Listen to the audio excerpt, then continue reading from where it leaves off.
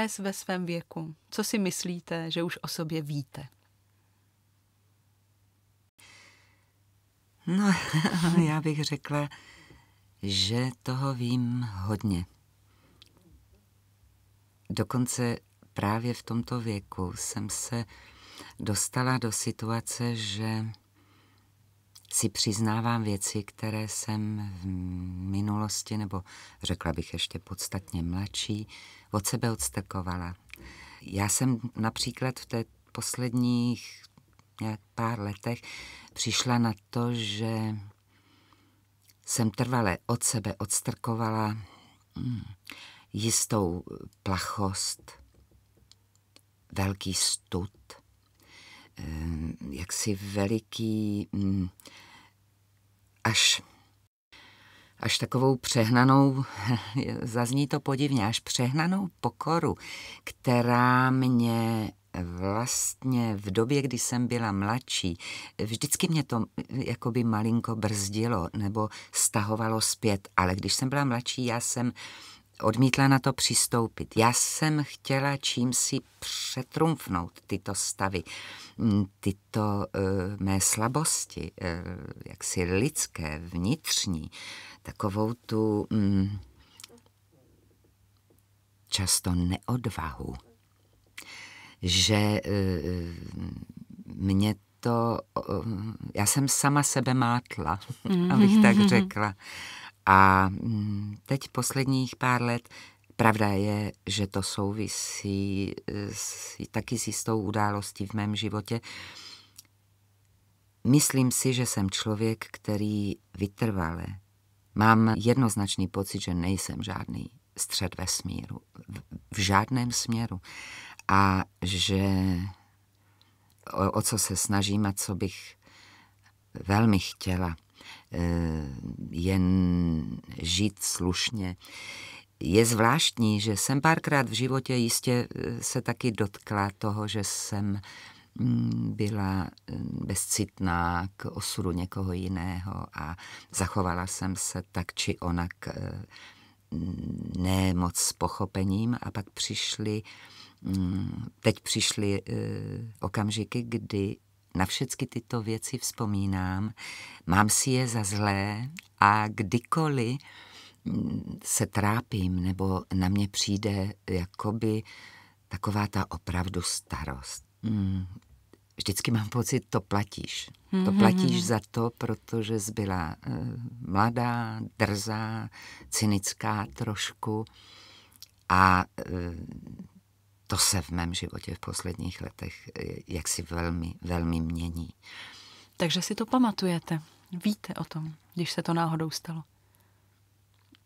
Vím o, mm, vlastně o každém momentu, nikdy nezapomenu. Hmm. Vyvstávají mi teď.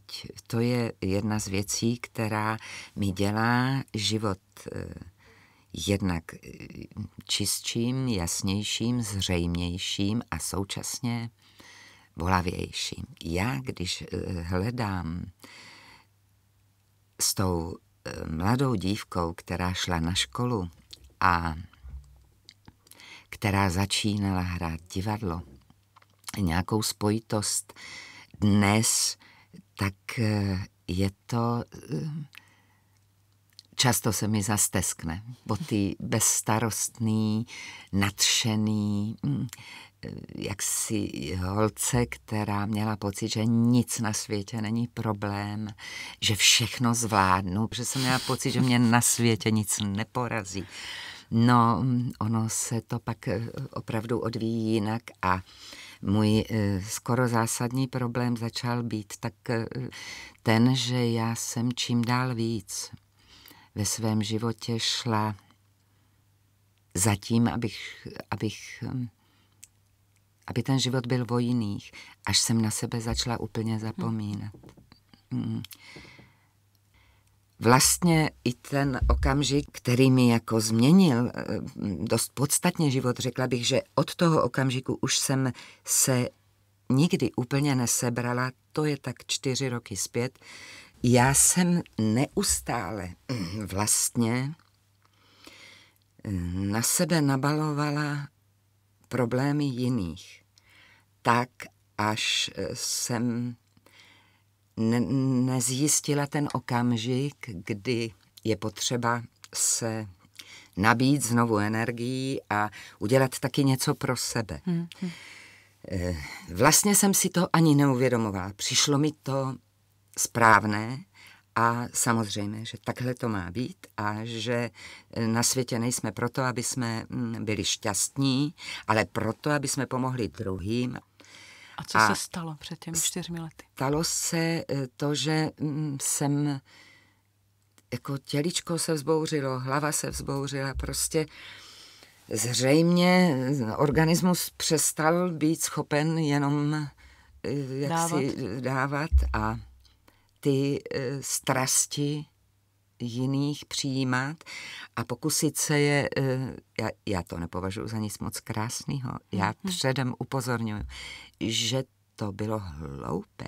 Já jsem vůbec nebyla schopná eh, se zabývat trošku taky tím, ale k ničemu jim nebudeš, jestliže nebudeš dost silná. silná, zdravá a v pořádku a byla jsem přijatá do nemocnice eh, s podezřením na mozkovou příhodu, ale vlastně především mm, na, na strašně vysoký eh, tlak, který jsem už v těch dnech měla a patrně ty příznaky, které mě pak se na ně ptali, tak to bylo zřejmé, že je to že to byl atak toho vysokého tlaku velmi nápadný.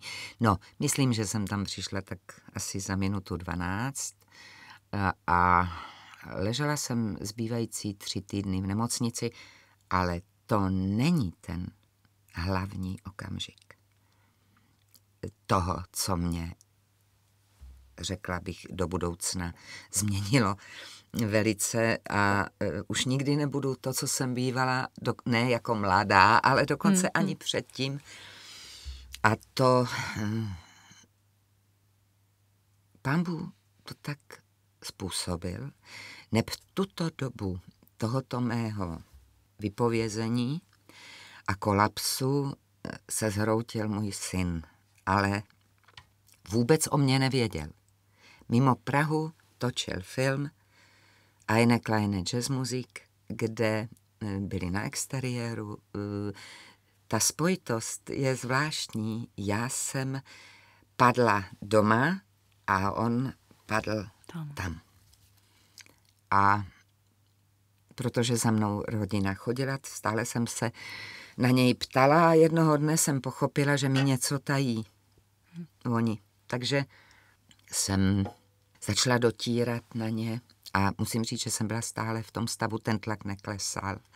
Odmítal, jak si klesnout navzdory lékům.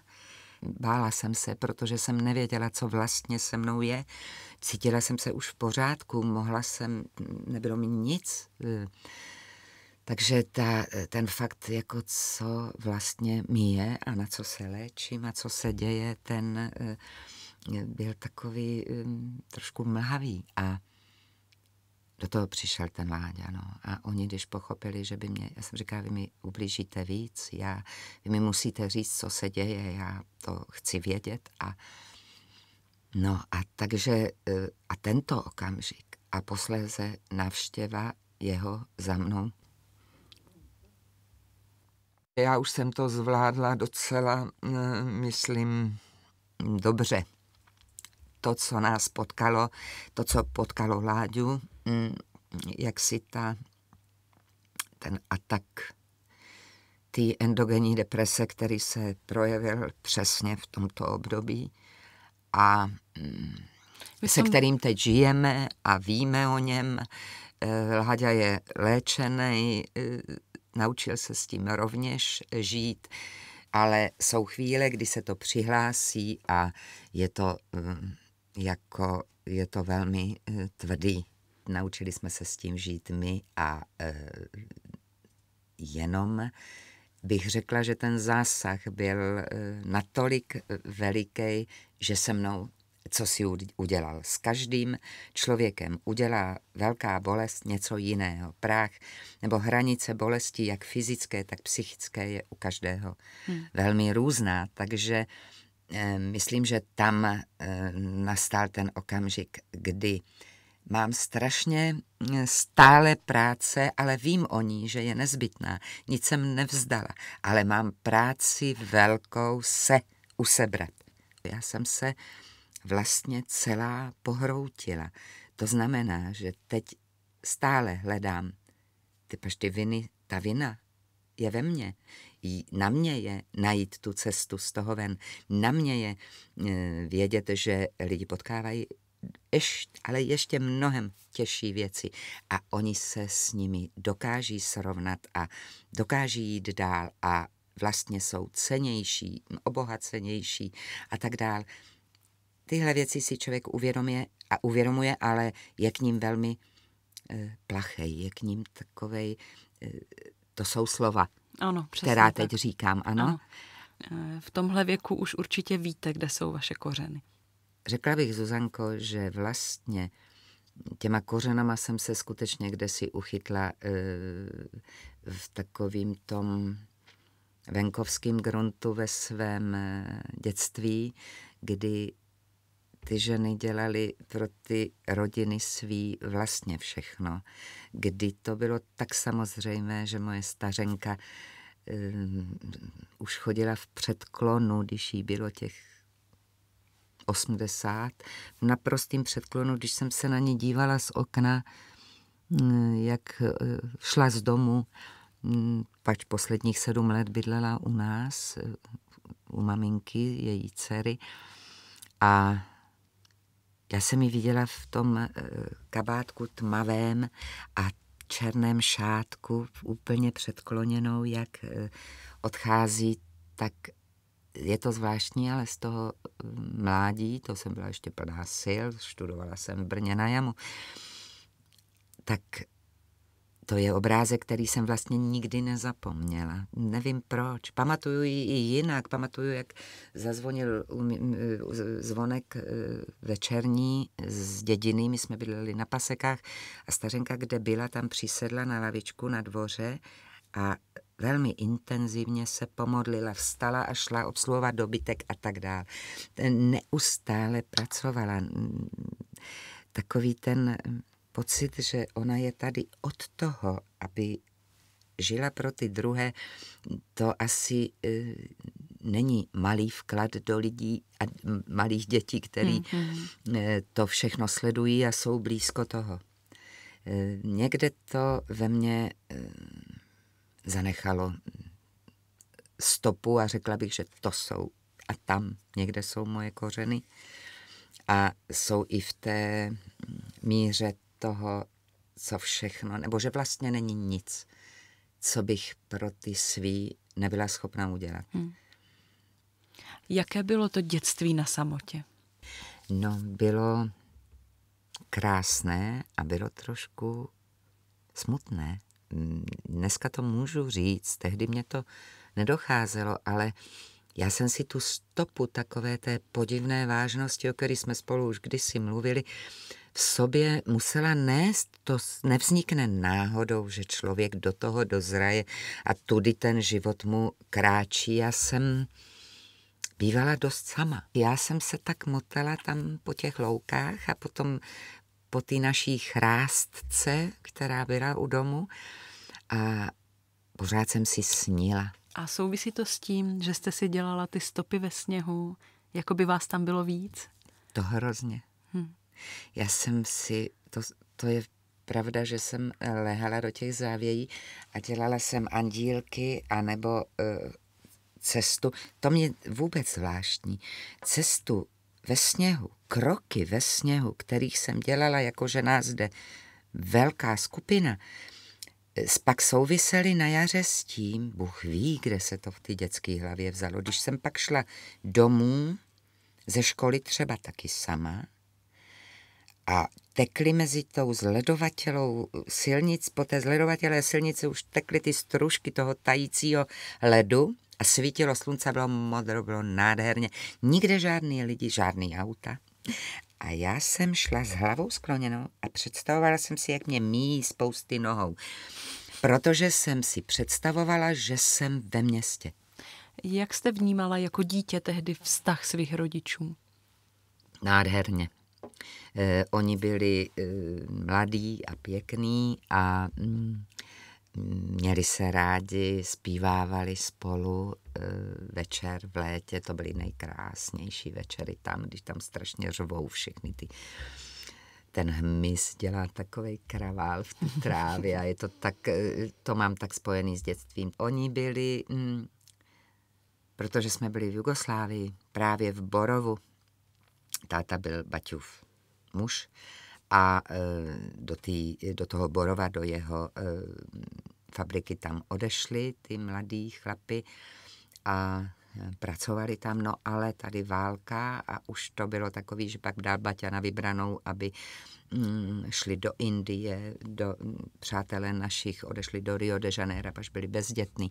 Naši oba měli staré rodiče poměrně poměrně ve vysokém věku doma a najednou měli a mě maličkou, teď se dokonce někde dozvěděli od lidí, kteří už odjeli, že je někde rozdělili na lodi nějaký po té cestě do mm-hmm. zahraničí, takže naši se to moc vylekali, taky byli velmi mladí, mě byl rok a něco, mm-hmm. dva roky, když se rozhodli vrátit, ale ty naši, um, oni tak krásně zpívali dvojhlasně a srbské písničky.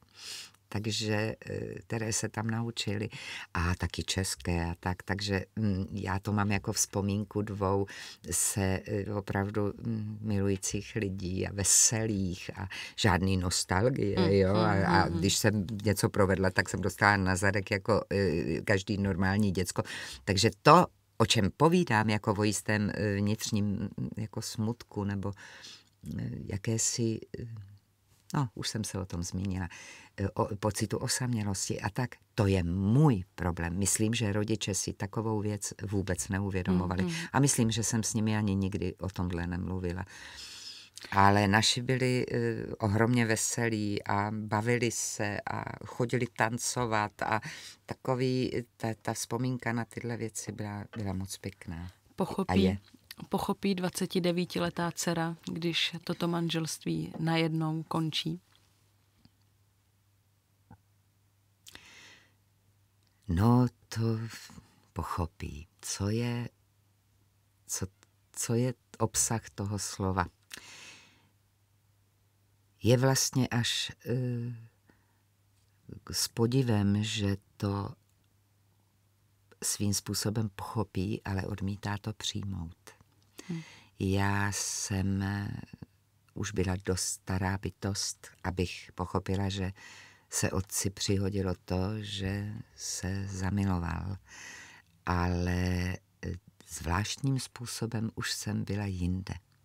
Už pro mě příliš velkou roli hrály eh, takové vážné věci, mm, jako exipery, jako já už jsem kdesi hrozně si byla vědoma toho, že člověk je zodpovědný za to, co k sobě připoutal. A já jsem nemohla pochopit, proč můj otec byl hrozně hodný člověk. A myslím, že nás hrozně měl rád, mámu i mě a že se mu to prostě přihodilo. A já jsem mu měla za zlé, že to neuměl zvládnout v době, kdy už měl povinnost vědět, že nese tu odpovědnost. On věděl, jak ho e, my potřebujeme.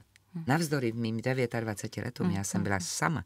Hm. Nebyla jsem ještě vážně jaksi e, zadaná, ani vdaná. Ještě ty moje vztahy byly takový, že byly a nemuseli být a tak navzdory tomu věku. Ale věděla jsem, bych řekla víc než on, protože naše setkání i ho- hovory po telefonu, až to bylo krutý, to se odehrávalo, když jsem točila údolí včel a e, produkce a Franta Vláčil mě absolutně odmítli pustit, pač jsme tam byli denně a mm. denně se točilo a ten film se za ty prázdniny natočil taky, takže já je chápu dnes, ale já jsem nemohla za tou mámou, abych jí pomohla, jen telefony, e, sousedé z domu jí brali s sebou na dovolenou, aby to ustála vůbec. Takže a ty rozhovory s tím tátou, i potom, když už jsem skončila, na podzim jsem se s ním sešla v hotelu, kdy už byl odstěhovaný, a dávala jsem mu otázky, on mě nesved na jedinou z nich dát odpověď. Byl v hlubokých rozpacích a vlastně, řekla bych to po minutí smyslu, on se za něj hluboce styděl. To byla podstata toho, proč já jsem e, mohla pochopit, ale nemohla vlastně přistoupit na to, že člověk v tomto věku si neřekne, no tak stalo se mi to, no. Tak. Kolik let spolu byli? 30. 30 let. Byl to i okamžik, když mm, začal váš osudový vztah s Ladislavem Frejem, že jste nechvátala ze svatbou? Ano, velmi. Dokonce natolik mě jaksi ovlivnila tato situace, která nás potkala, že e, jsem vnitřně byla rozhodnutá se vůbec nevdat. E, s tím, že člověk, se kterým budu třeba se mít jednou tak ráda, že budu, děti jsem velmi toužila mít, ale bylo to tak jakoby zasuté, že to bylo takové moje tajemství, ani jsem se s tím nezveřejňovala, ale v jednom vztahu, který vypadal dokonce vážně, když mi ten dotyčný řekl, samozřejmě já jsem si e, záležitost dětí odreagoval ve svém prvním manželství, kde byl 8 let rozveden nebo kolik už, že, takže mm, to jenom, aby bylo jasno. A já jsem věděla, že nikdy s tímto člověkem neskončím život.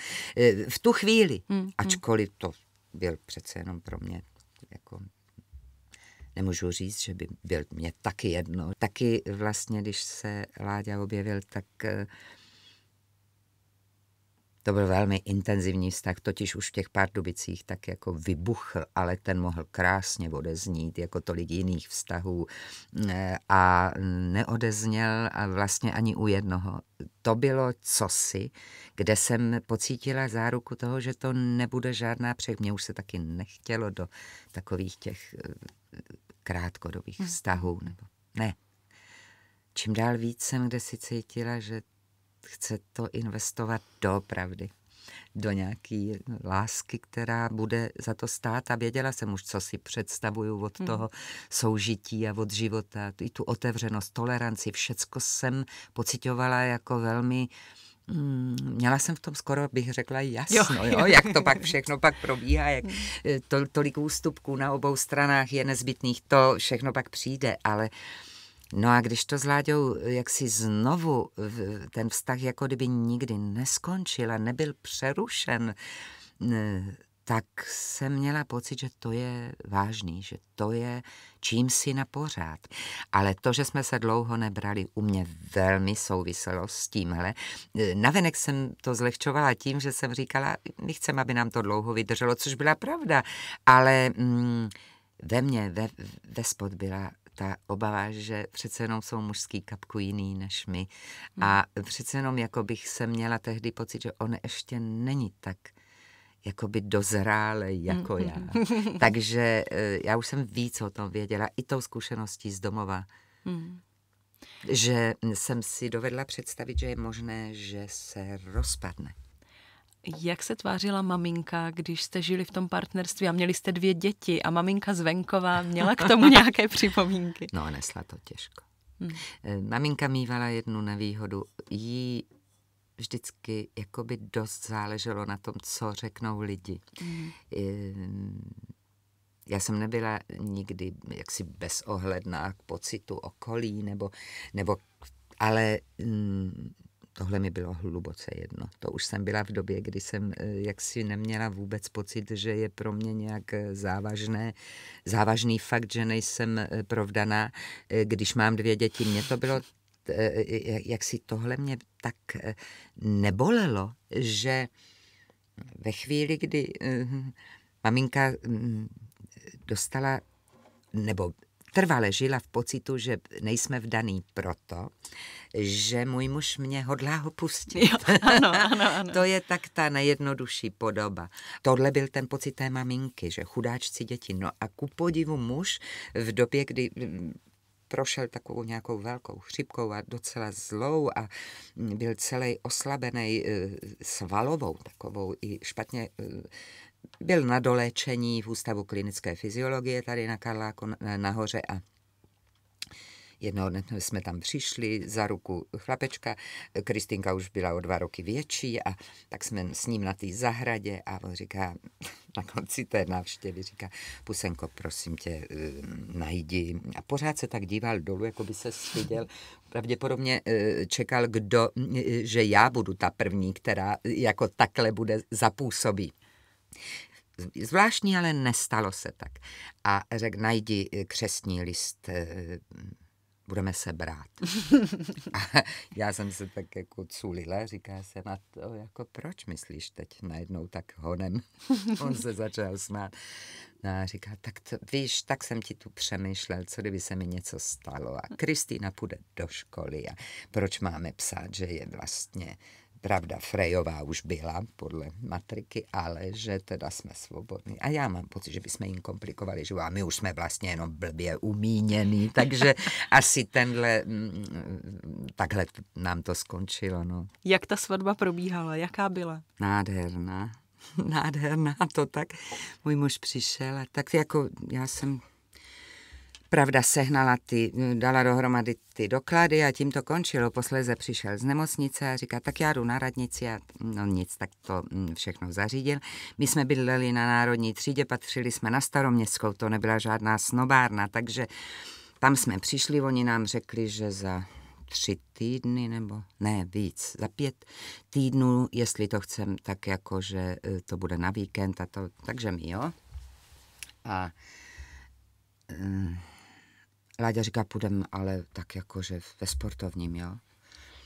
Žádný nějaký, já jsem říkala, samozřejmě, prosím tě, taky se dvěma dětma v věku a teď nějaký to víš, že jo. No, zas uplynul, všechno to tam podal, už jsme věděli, že se bereme. Brzy na to e, přišel domů zase rán, nějak a říká mi, já jsem se rozhodl, že půjdeme ve svadebním. už jsem si dal ušít smoking a ty si musíš dát ušít nějaký krásný šaty, protože ty se ještě nevdávala. Což mě dojalo, bylo to strašně hezký a on měl, pravda, za sebou už nějaký to manželství, takže mm, najednou usoudil, jsem říkala, to no, tak dobře. Tak jsem hned vedle na Národní vběhla a říkám, já mm, potřebuju takový nějaký čajový šaty, takový nenápadný, ale mm, jako opravdu jako takový jako slavnostnější záležitosti, ne vysloveně e, civilní, odpolední, tak aby se hodili ke smokingu. A ah, tak to je něco jiného. Ona mě ta paní znala, přinesla materiál krásný, francouzský takový poloprůhledný. Naše Kristýna to dodnes eh, jak si nosí. Jsem říkala, tak tohle, tohle chci. A ona říká, na co to máte, paní Galatíková, jako do, v civilu. A já jsem říkala, se budu vdávat.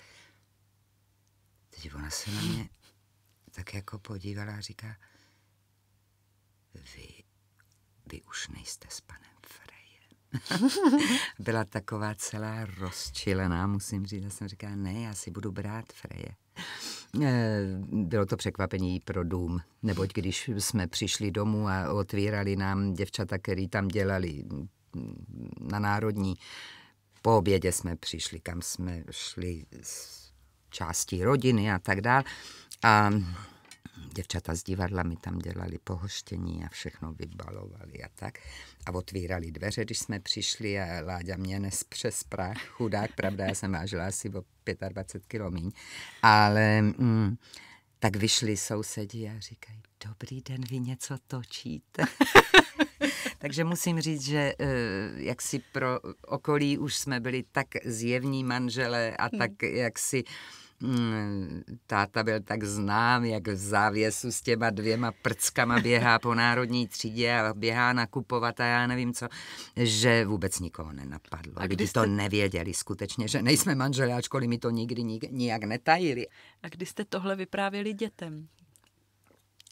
My jsme jim to nevyprávěli, my jsme byli trošku pokrytecký, protože eh, jsme dělali jako, že všechno v nejlepším pořádku, že jsou Frejovi a maminka je taky Frejová, ale Galatíková, protože hraje divadlo už dlouho takhle pod tím jménem. Takže mm, oni e, vůbec nic je nenapadlo a my jsme je nenutili, aby to chápali, pač to byli, Ladík ještě nebyl ve škole, Kristýnka šla do první třídy, vůbec ne. Až už oba tak jako byli větší a my jsme chodívali hrát a jednou takhle projeli naprosto všecko, doklady, no jako celý byt. Řekla bych, a našli velkou slohu fotografií svatebních a když jsme přišli domů, tak druhý den ráno snídaně se culili. A e, bylo to takový to, jak jsem stávala brzy, pak jsem je vypravovala do školy už. A, a Kristýna říká, mámo, a teď začala tak jako dorážet. A kdy a co a jak a jak to, že vy jste se vrali, až když my jsme byli a už to bylo. No. Takže vlastně na to přišli sami. Tak jsme se velmi bavili s tátou a tak jsme jim to celý řekli, vylíčili. Neměli z toho vůbec žádné trauma, jen je to bavilo. Bavilo je to, měli takový pocit, jako že jsou naši nějaký divný.